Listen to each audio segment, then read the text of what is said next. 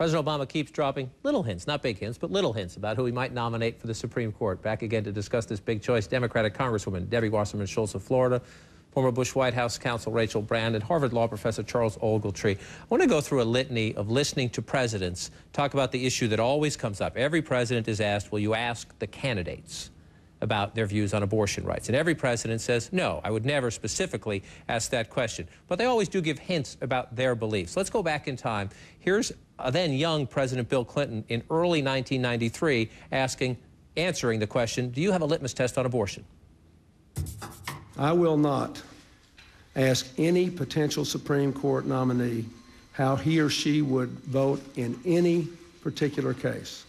I will not do that but I will endeavor to appoint someone who has certain deep convictions about the Constitution. And I strongly believe in the constitutional right to privacy.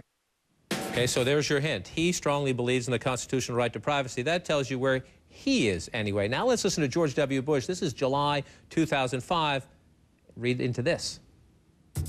There'll be no litmus test. I'll pick people who, one, can do the job, people who are honest, people who are bright, and people who will strictly interpret the Constitution and not use the bench uh, to legislate from. Strictly interpret, not legislate. That is the conservative code for he doesn't think the word abortion or the right to privacy is in the Constitution. Now listen to President Obama today, who sounded a bit like President Clinton, but went a bit further.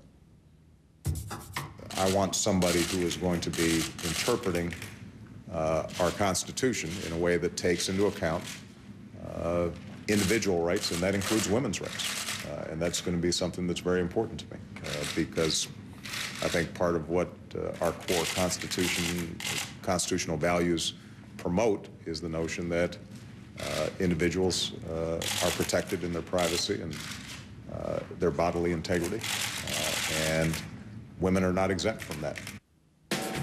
Rachel, you've been through this process and you've studied the other guys when they make the process protected in their privacy and their bodily integrity. Have you ever heard a president use those words before? No, and my question is, how will the president determine whether the nominee believes the same way that he does? Because during the hearing, the nominee is not going to want to answer any questions that would say how he or she would decide a case if it came before the court. And therefore, a president doesn't ask the nominee those questions. If the president says, do you think there's a right to abortion in the Constitution, then it's going to be fair game for the Senate to ask the nominee the same question, which the nominee will not want to answer. So the president has to look for other ways of finding that out besides asking it straight out. Now, there are some fans of transparency who wish all these questions were inbounds. Why not? Well, because I think it's, uh, it's inappropriate to ask potential Supreme Court justices direct questions. I mean, because they that, that, that, takes away essentially their neutrality if they're deciding where they would come down before a case is in front of them. I, I think President Obama is going to be able to discern. He's already demonstrated his ability to uh, nominate a very qualified uh, person with a lot of legal, incredibly important legal experience who has made those kinds of decisions. Um, individual rights is, and the right to privacy is uh, something that he'll talk to each potential nominee about, and that's appropriate. Professor Ogletree, you not only graded his papers, but you've talked to him as president. So your former student who is now the president, when he uses words like that, and more broadly when he looks at this decision, take us inside what you know he thinks about. Well, this, this is breaking news right now, John. Let me tell you this. Barack Obama is a Democrat. He's a liberal. He believes in a woman's right to choose.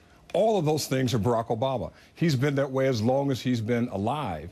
It says nothing about who he's going to pick or who he thinks will be qualified. He's telling us, as he's told us over and over and over again, his views. He will not, as no president in my knowledge has ever, asked a candidate about their views on specific issues. On the other hand, I think the Senate has an opportunity, an obligation, a responsibility to ask those tough questions even though the candidate may not answer them. They, they, they make their vote based on what the candidates say. But President Obama didn't say anything unusual. It's a slow news day when you're saying Obama, the liberal Democrat, said he believes in a woman's right to choose. Come on, John. No, I know, he, I know he believes in the woman's right to choose, and you know that's a factor in his Absolutely. thinking, but I've never heard but a president be that specific in answer to that question. Most presidents good. just shut it down. I think that's good.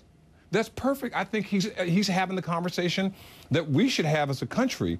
But you can't say or imply, oh, Obama's going further than any president in the nation's history in telling us who he's looking for for a candidate. You know what?